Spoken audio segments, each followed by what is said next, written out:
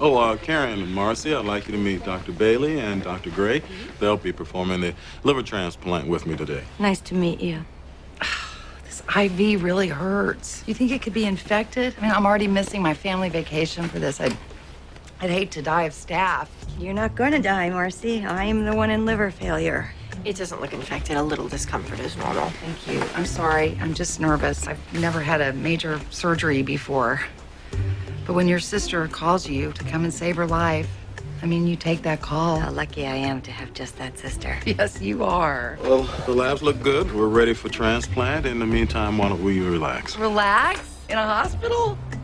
It'd be a lot easier on a white sandy beach. I'm going to reimburse you for this trip. I promise. I just hope I don't die in there. I mean, it would be hard to reimburse me for my life. Thank you, Marcy. I just can't thank you enough. You're welcome.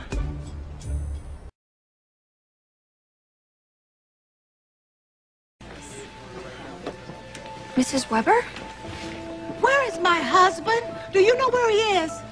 I, I found her on the street. She was trying to walk here. I, I live next door to the Webers. It's seven miles away. Oh, God. Where is he? I want you to go find him right now. Yeah, I, I will go find your husband. Would you just stand here just for one moment, please? Could you just stay with her until I can talk to Dr. Weber and figure out what to do? I can try. She's pretty insistent. Okay, well, uh, I have an office on the third floor. If you could just. What?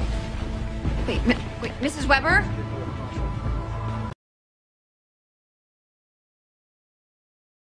Eight surgeons have said this is inoperable. I mean, even the tumor board at Cleveland Clinic. I can see why. His neuroblastoma is more complicated than most I've seen. It's very rare that someone his age. They're mostly in younger kids, I know.